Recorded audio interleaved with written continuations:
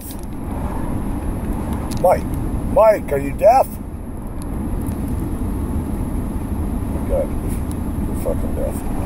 Jesus Christ, get a fucking hole Ugh. Mike Diamond is deaf.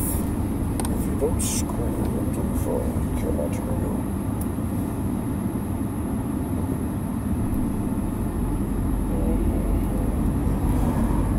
Do you need to get a new phone? Do you need to get a new phone? You're the only one who ever has a problem hearing you. Huh. Maybe you need to have your hearing checked. Okay. I mean, rock and roll did give you a lot of years of your life. I'm just saying. So, what are you doing now? Sorry, what?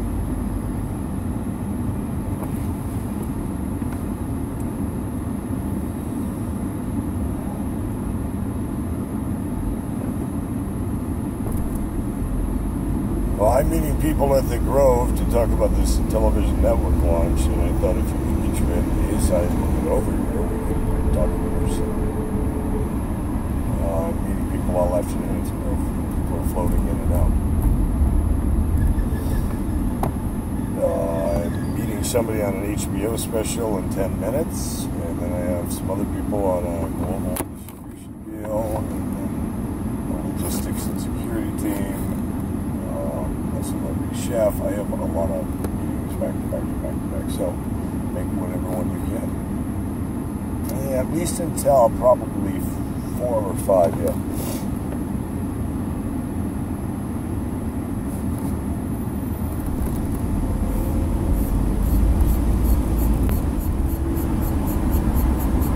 Well, that's making it six or seven, and then I think I'm already committed to other stuff if you're trying to push it back to like six or seven, that would make it too late because I'm already committed to other stuff. Know, it'd have to be before five that.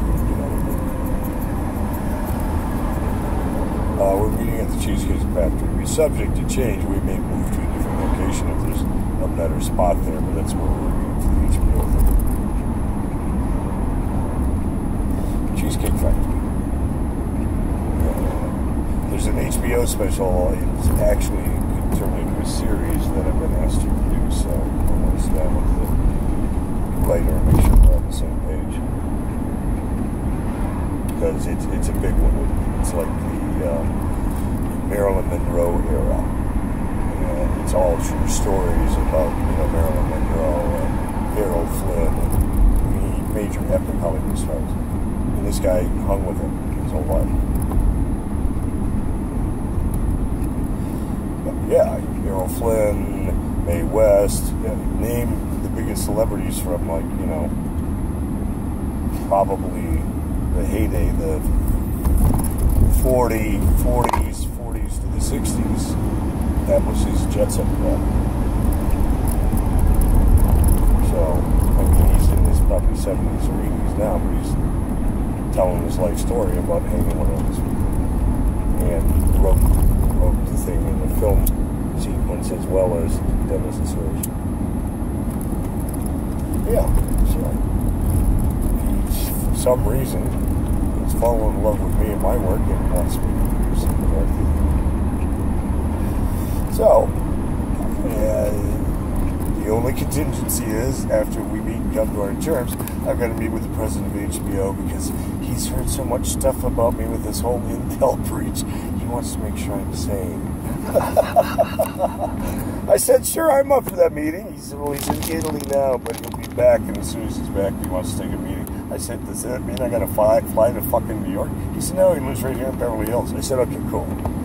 Because I really do not want to fly to New York in December feeling. Really, fuck that.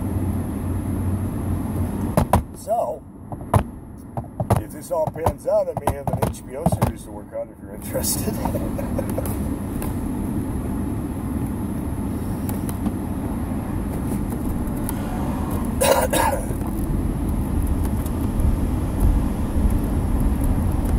There's a lot of fucking red tape when you're working with people like that.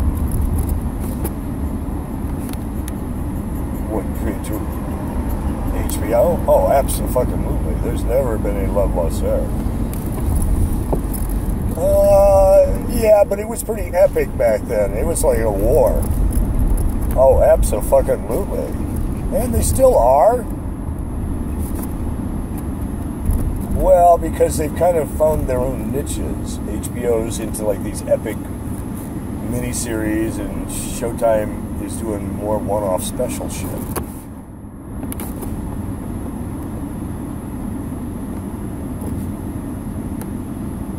Skin Skinamax.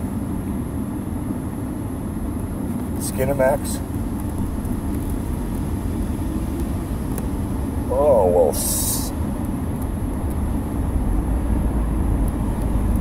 Twenty of them. Yeah. Yeah. Yeah. Yeah. Well, and that's that's the way it's going. Pretty soon there will be different versions of ABC, different versions of NBC as it goes more global. It's going to have to, or they're going to die as networks. Well, and NBC's kind of ahead of CBS and ABC in that game because they already have MSNBC, they have CNBCE, they have many rural divisions already. Oh, fuck, Jesus Christ. Well, they might, but which fucking channel is it on? You know, they, they've got, what, 30 of them now? Well, and see, this is what we were talking about last night when we were doing the planning for this concert. We should probably, while we're launching a primary channel, we could do alternate outlet channels under the main carrier that are a premium channel that people pay for. So if they just want like heavy metal, grunge, rock, EDM music, that's a channel they pay a premium to get. Otherwise, they'll get it mixed in with all the other EDM on the main channel. Or if they want hip hop, rap um, type EDM, can buy that channel specific.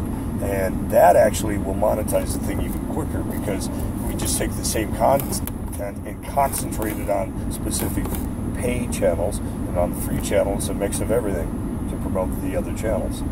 So out of the box right there, you can launch with like nine channels off of one primary channel. And I think that's actually the way we should do it because that way we blanket the EDM market so no one else can even get traction. We've already blanketed it with a rock format, a pop format, a rap hip hop format. We even talked about doing one that's classical symphony. So if people like classical music like Beethoven and Bach, you can still get it in EDM. Now, wouldn't that be fucking crazy? No, I didn't. But wouldn't that be fucking crazy if we developed a channel with sub-channels like that? Out of the box? I don't think that'd give MTV even time to compete in the space. Well, but the content's there. But the content's there. EDM content's already out there.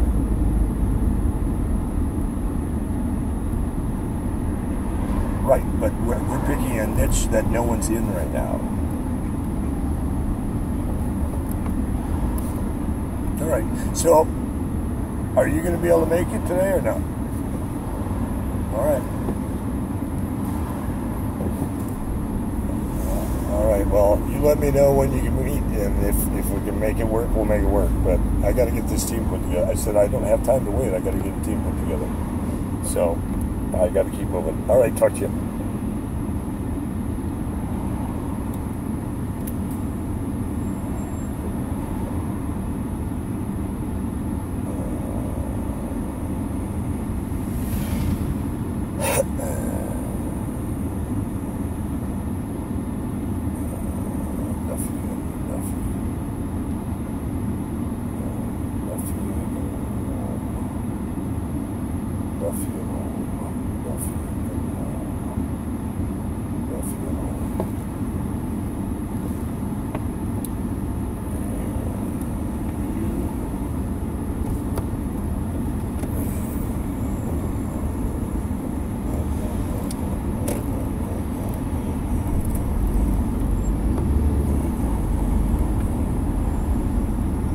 John, can you meet over at the Grove today? I have a bunch of people meeting over here to plan logistics. Um, I left a message last night.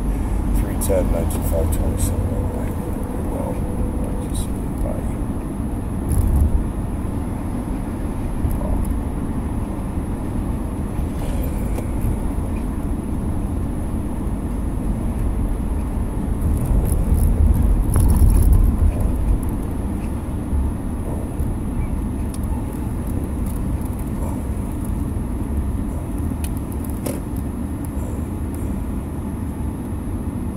people.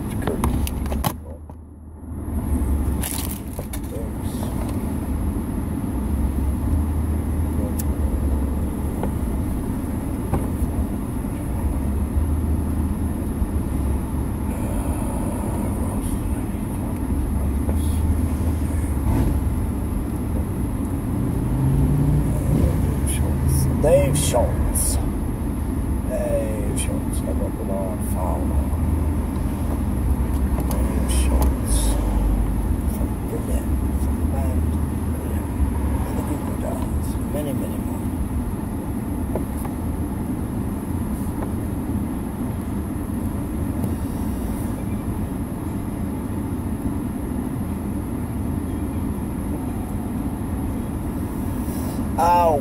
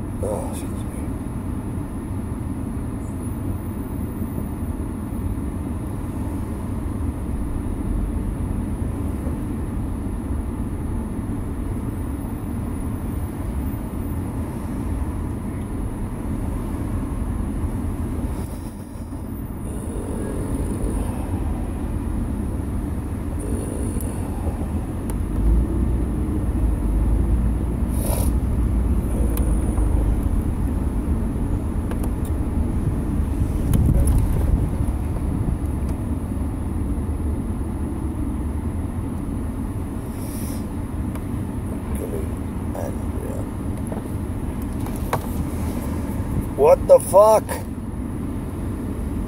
Did you fall off the planet? Okay, when do you plan on returning? I keep inviting you to shit, you don't call me back. I text you stuff, you don't call me back. I call you, you don't call me back. Oh, I just thought you were being a bitch. I said, she's a bitch. I that or the Illuminati guy scared the fuck out of you when you talked to him and put me on the phone.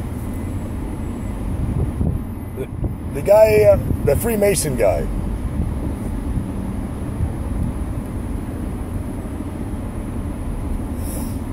I need to calm down. Hey, he should see the fucking text and then we'll see who should calm down.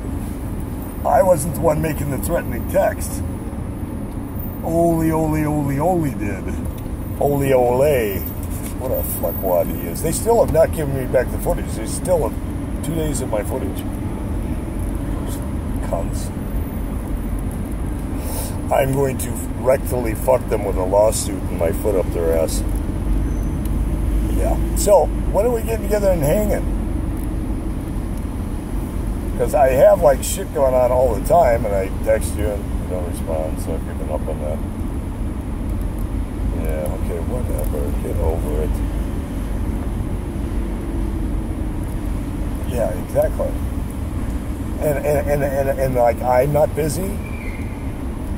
Obviously, you haven't been looking at my Facebook pages. Yeah, okay. I'm like doing 14 things every night. Somebody's got to. Well, I, well, maybe we're doing some of the same shit. What's your shit? Uh, there's another. There's, what movie? Oh, enjoy. Yeah, I, okay. How exciting. It'll be, it'll be a four hour film.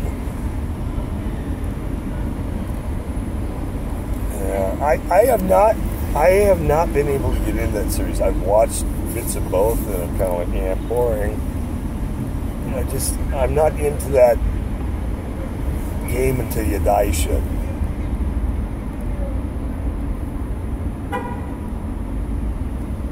Oh, you actually read the book? Oh, yeah, see, unless somebody's paying me, I'm not reading their fucking book.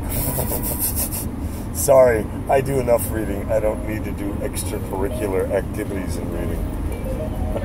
I, well, if they want to pay me to be the voice of it, I'll read it. Otherwise, not interested. So I have a guy I'm meeting with um, who wants me to produce and direct uh, a series on HBO. And it's going to be all about like the 30s, 40s, 50s. And major stars of that era. It's all like, you know, uh, Errol Flynn and Marilyn Monroe and, and uh, Bette Davis, etc oh, I'm thinking this is going to be fucking epic if we can come to terms on it. My question is, what old celebrity from the 30s, 40s, 50s could you portray that would make sense? Is there someone that you could portray? I don't know. I'm just throwing it out there. Yeah, do your research and I'll find out who some of them are. But I know that those are some of the celebrities he spoke of off the top of his head when we were talking. Uh, I'm thinking 30s even through the 60s um, would probably be safe because um, he, he, brought up Errol Flynn, and Errol Flynn was what, like the 30s, wasn't he? So, and, and he was also bringing up people like uh, Marilyn Monroe, which goes into the 60s. So, um, he's still alive today. This is his life story of all these parties and celebrities as an actor and as a news reporter that he hung with over the years of all the Hollywood secrets. And so I think it's going to be a freaking cool series, one. And, and two, if we can get you prepping for a role, you get a leg up over everybody. See, there are reasons you should hang with me because I have cool stuff going on. Na na na na goo goo, na na na goo goo. Like if you were with me right now, you'd be sitting down and meeting with me and the writer of the whole series, and you could convince him why he wants to write a part in for you. No, I'm I'm I'm literally going downstairs to meet him. I'm ten minutes late. I'm meeting him at the Cheesecake Factory here at the Grove. So if you want to pop over, it's going to be at least an hour or so, maybe longer. Oh, you poor sweaty baby. You have fun on your treadmill. And when you're done with your treadmill, maybe when you clean your ass up, if you want to hook up, I'm meeting with some other people on a television network, won't you?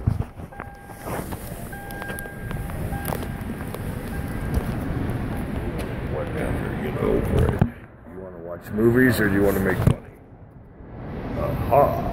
Well, I'm talking about making money. See? I had the right I had the right question. you can whatever you want. You're an adult. You're allowed to move about the country now.